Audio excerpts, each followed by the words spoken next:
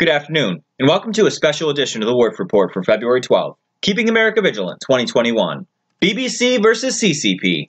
Communist China has removed BBC World News from its airwaves for, quote, not meeting requirements to broadcast in China.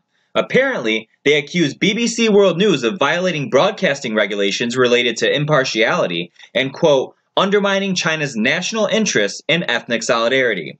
This comes after Chinese state owned English news channel CGTN had its license to broadcast revoked by Britain's communications regulator last week.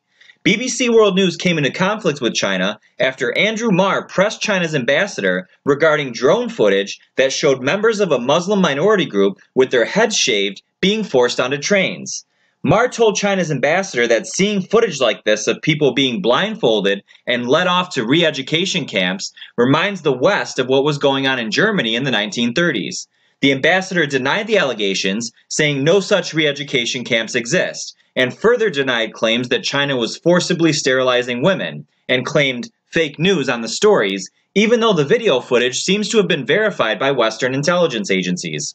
China has become a serious threat to the world in its blinded quest for world dominance, and infiltrating America through the Democratic Party as they have is simply another step in their plan to achieve a new world order and their quest for total world power.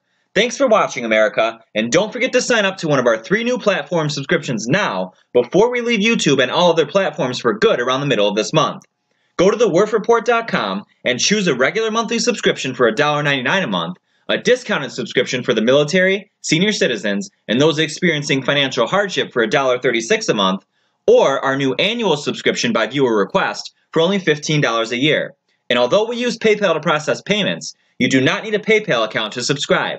Simply click the PayPal button on the subscription page and then click Pay with Credit or Debit Card.